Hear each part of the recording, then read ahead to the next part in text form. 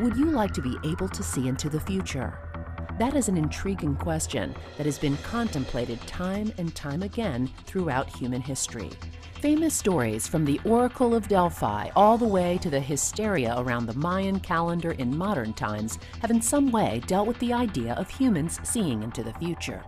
This idea has shaped popular culture and our science fiction with that one tantalizing idea of what if. In the real world, the answer to the question of can we see into the future has been answered with a resounding no. In our ever evolving society, the trend today is to look toward the future by relying on predictive modeling to best predict the probability of an outcome. But we all know that even these well thought out predictions based on data often turn out to be not so predictable.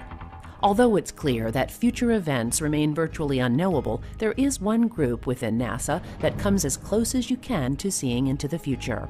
Throughout NASA's field centers, members of the Fixed Wing Project Team are peering into the future every day and coming up with concepts that they believe will be on the next generation of aircraft. Because it takes years to plan and develop these concepts, the hardware and theories that are being tested today will be key components that enable the next generation of aircraft to take flight. On this episode of NASA X, follow us around the country as we visit members of the Fundamental Aeronautics Program's Fixed Wing Project, who are developing the framework that will shape how aircraft of the future will fly. Take a look behind the gates of NASA to see what some of these new ideas look like and how the engineers of NASA are paving the way for the ideas that will change the future of flight. To the untrained eye, most of the aircraft of today look very similar. This is because over the past century of flight, aeronautical engineers have worked hard to optimize passenger aircraft to the point where they are as efficient and safe as possible. As a result, the basic tube and wing shape has been configured and examined from every possible angle, making it the most efficient design possible today. Although aircraft have looked basically the same over the past few decades, if you look closely, you can see some of the major design changes. Wings that were once swept back more dramatically now are less so because of advances in aerodynamic shaping. Engines that spewed emissions by the ton are now much more efficient. Materials that were once so heavy that they significantly weighed down a craft are now much lighter and stronger. With all this improvement and efficiency, it is fair to ask if there is anything else that can be done to make flight even better. The answer is of course yes.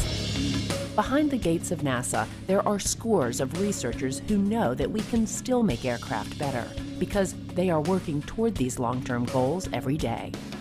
Some of these researchers from the Fixed Wing Project are working on so-called N plus 3 configurations and goals. In mathematical terms, the letter n is where you start now. n plus 1 is the next step. n plus 2 is just beyond that, and so on. Here in the Fixed Wing Project, n plus 3 equates to aircraft that will be flying in around the 2030-2035 timeframe. For this team, everything is on the table, including engines, fuels, wings, and fuselage shapes. Well, we need to remember the first A in NASA is aeronautics. So it's a National Aeronautics and Space Administration. Aeronautics is the field of uh, research for airplanes. The airplanes that will fly today were researched and experimented within NASA many years ago. So we're trying to continue that tradition, that important work that we have done for the nation and the world for 20, 30 years from now. Fixed Wing is a NASA research program in which we are doing uh, activities to try to improve the airplanes that we're going to be flying in the future. We're trying to make them less noisy. We're trying to make them better for the environment. We're trying to make them in a fashion that they will use less, less fuel. The research we're doing is important because air travel is it, it's such an important part of your life. Uh, people travel, even if you don't travel, uh, cargo gets carried every single day. You use something every single day that gets carried by an aircraft. It's part of our way of life these days, and it often gets taken for granted. There are challenges though, so we are focused on exploring and developing technologies and concepts to improve the energy efficiency and environmental compatibility of transport aircraft. With this mandate to significantly lower noise and emissions and increase performance for subsonic aircraft, there will be a need to address virtually every aspect of the current aircraft configuration, including developing new materials and engines, testing alternative fuels, and even changing the fundamental shape of the aircraft. All across the country, fixed wing researchers are doing just that. Major advancements are being made into the understanding of how future aircraft will fly. Because there are so many areas of study, let's first look at something that has the potential to be used today as well as in the 2030 timeframe alternative fuels. On this beautiful morning at NASA Dryden in California's high desert, a test called ACCESS, or the Alternative Fuel Effects on Contrails and Cruise Emissions test, was performed to study the effects of alternate biofuel on engine performance, emissions, and aircraft generated contrails at altitude. For this test, two aircraft were flown in tandem. The first is NASA's DC 8, which will be burning an alternative fuel. The second aircraft is NASA's Falcon that will fly directly behind the DC 8 to measure and characterize the emissions coming out of the engines from the alternative fuel. Here is NASA's Bruce Anderson to explain. NASA's role is in assessing the combustion characteristics of alternative fuels as well as uh, determining how these fuels will affect the performance and emissions from aircraft to understand how aircraft uh, affect the climate, we need to make measurements at cruise altitudes. So the focus of ACCESS, or alternative fuel effects on contrails and cruise emissions, was to fly behind the DC-8 in flight and uh, look at its emission and contrail characteristics uh, as we changed from standard jet fuel to a fuel that was a blend of uh, a fuel that was made from camelina plant oil and, uh, and also uh, uh, added 50% of, of, Jet A to that. There are some other uh, groups out there. Tyson Foods is making uh, a biodiesel and biojet fuel from chicken fat that they sweep up on their processing plant floors. So there's a number of different ways of making these alternative fuels. All of them result in a, a fairly clean kerosene that doesn't have nearly the contaminants in it that the, the fuels from refineries do. The fundamental thing is the aircraft has to retain its performance characteristics uh, when you burn a fuel. You can't have any drop in power. Um, the fuel also has to have similar characteristics in, in terms of density and volume uh, to kerosene. So what we're looking at is drop-in fuels. A lot of the fuel systems on the aircraft are designed to rely on the aromatics and, in the uh, fossil fuels to swell the seals to uh, make them leak tight. So when we fly a, uh, an alternative fuel, we have to mix it with standard fuel to retain those properties. Uh, otherwise, the fuel would just leak out of the aircraft. And then the, the second thing we're looking at is just the emission characteristics. By that I mean the amount of pollutant uh, generated per kilogram of fuel burn. After the first few flights, it was shown that using these types of alternative fuels could significantly reduce emissions at cruise altitudes, particularly soot emissions. Work continues to better understand how to use these fuels and how to make them even more efficient for future aircraft.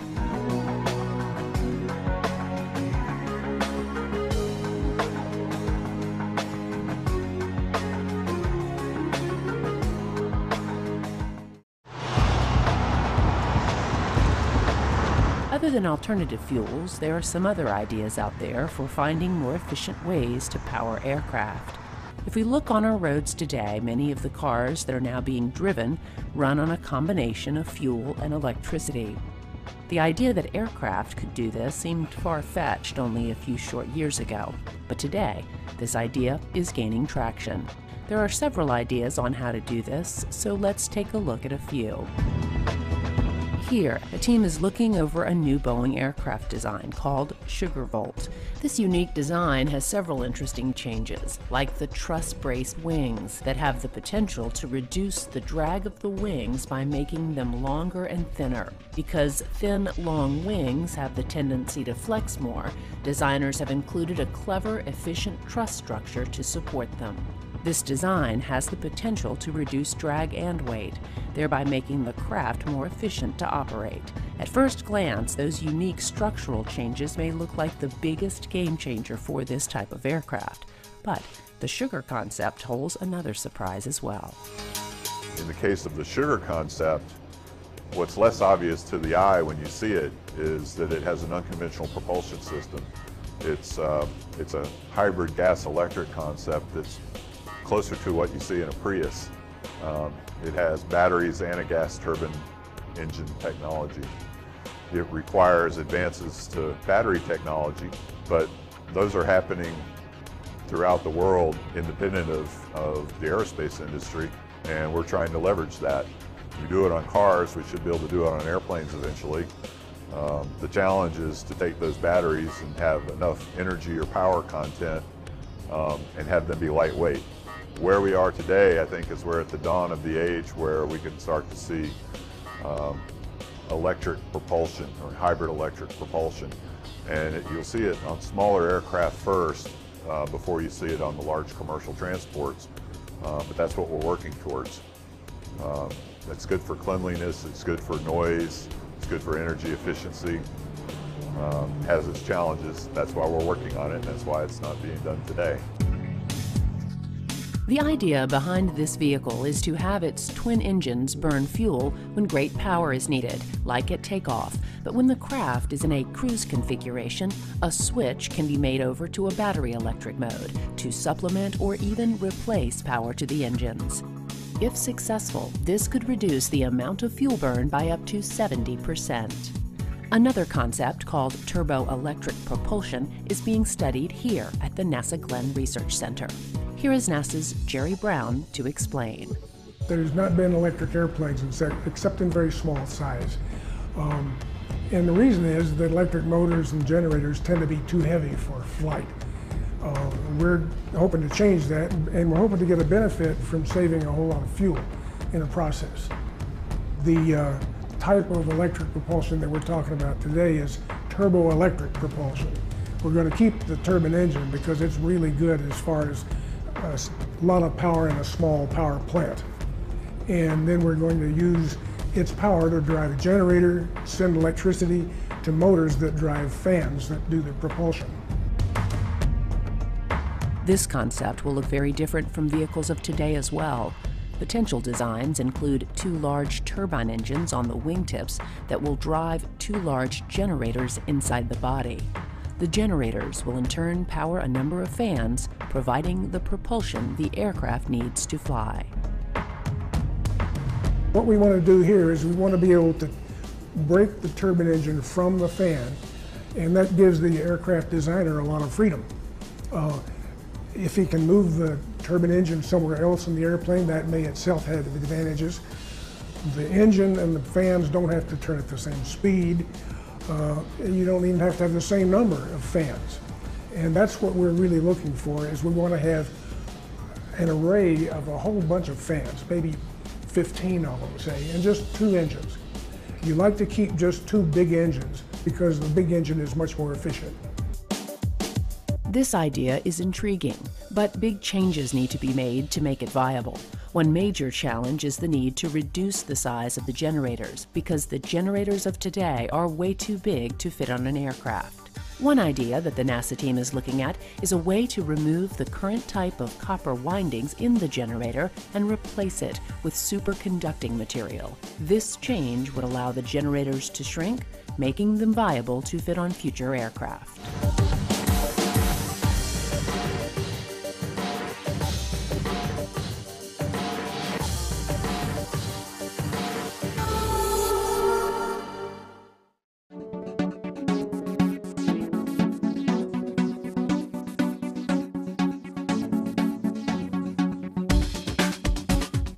Seen so far, new aircraft designs are coming online that have the potential to greatly improve aircraft efficiency. Another of these revolutionary designs has come out of a joint MIT and NASA study.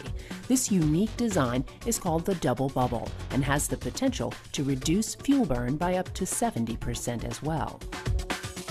So the MIT D8 double bubble design was something that's been working with, we've been working with uh, MIT for a number of years on that. Uh, the idea there is to take some of the lift that you would normally get from the wings and try and move that to the fuselage. Another thing that's done to enable laminar flow on this vehicle is to reduce the sweep of the wings. It is easier to maintain laminar flow if the wings, instead of being swept back like a lot of modern commercial transports, are more sort of perpendicular to the side of the body of the plane. Another aspect of the D8 that we didn't really discuss is something you can see in these pictures behind you. You can see the picture on the right, which comes from CFD. The engines are what we call in the podded configuration. They're podded separately off to the side. The idea is we hope to get an airstream that's relatively untainted by what's happening over the airplane, a fresh airstream to go into that engine and create our propulsion. The image in the middle, on the other hand, the engines have been moved to inside that pi tail configuration. And by doing that, we actually get some benefits. Uh, if you can use the engines to refill that area of dead air behind the plane, you have a chance at being more efficient in terms of propulsion for that vehicle given a certain amount of fuel. We're trying to sort of push the envelope, see what is the maximum benefit that could be obtained by this kind of a configuration to understand what's really possible in terms of fuel savings. Aiding much of the work is improved computational fluid dynamics and wind tunnel testing. Right here in this building, we have Pleiades supercomputer, which is one of the largest supercomputers um, in the US and in the world. It has 200,000 uh, processors working on the problem if you use the whole machine on one problem. So it's a very large machine, and we need that very large machine because we need to do very big problems here at NASA. The Aeronautics Research Director that we're using it for is to try and simulate the flow over these N plus 3 configurations. So in order to capture all the detail you'd see on a vehicle like this, including what's going on inside the uh, combustors of the engines and things like that, you need to have a lot of grid points to resolve all the fluid motion inside those engines, over the airplane, uh, and having that many grid points to resolve all that physics in three dimensions creates very large computational grids that require very big machines to advance the equations that govern the fluid motion and get these CFD, computational fluid dynamics solutions that we use to make our assessments. Aerodynamicists of today are able to model ideas on computers, which allows them to test many different configurations before a wind tunnel model is ever built. Once a design is agreed upon, a wind tunnel model can then be fabricated and tested. This process was used for the double bubble as well, but the wind tunnel test showed surprising results. The good news is that we've just completed the first test of this configuration in the Langley 14 by 22 wind tunnel at, at NASA Langley. And it showed even a more, uh, a greater reduction uh, or a, a, more fuel efficiency benefit to this technology than we had predicted on paper with our, our low-order models. So we're trying to digest the experimental data that, that show this, this nice benefit in fuel efficiency from this configuration. At the same time, we're also using the supercomputer here at NASA Ames, the Pleiades supercomputer, to do computational fluid dynamics, CFD runs of these same configurations and see if we can confirm that benefit on the computational side as well. Testing will continue on the double bubble, and if the results hold, you may see this type of aircraft at an airport near you in the future. When testing aircraft, many different stages occurred. We have already mentioned CFD and wind tunnel testing, but another tool in testing future designs is to build a flying scale model. Although CFD and wind tunnel modeling is the mainstay, often test flights of these small, scaled down versions of an aircraft offer some of the most dramatic results for researchers. That is the case with this aircraft, called the X 56.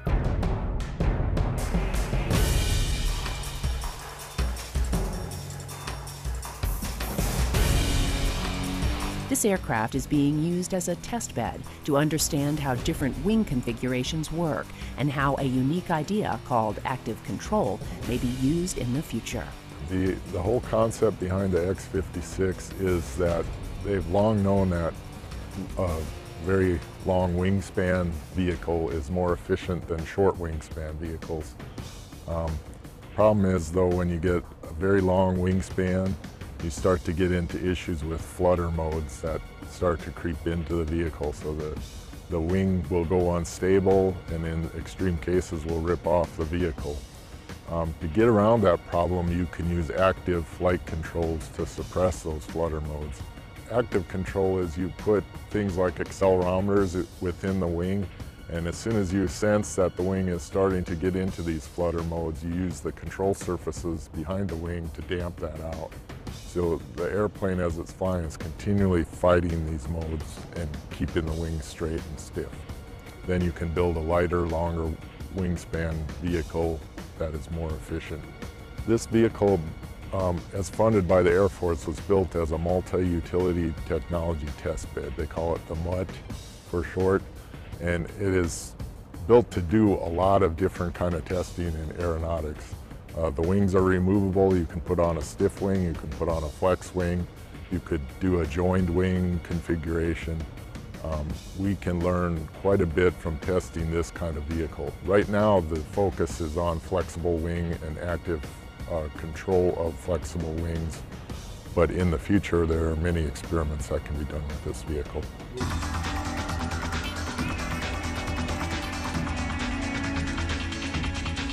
The research on the control of lightweight flexible wings being performed today on the X-56 is key to enabling the long, thin, low drag and low weight wings of tomorrow's N plus 3 configurations.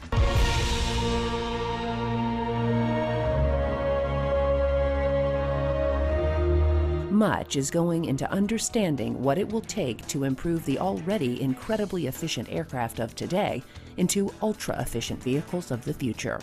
Although we don't have all the answers yet, it's clear that NASA and its brilliant engineers and researchers are helping to lead the way to a safer and more efficient way to travel. We are not where near the maximum that we can get out of this industry. And there is a lot of work to do, and that's what my team is doing. That's what we're doing within NASA, and I cannot wait for the future.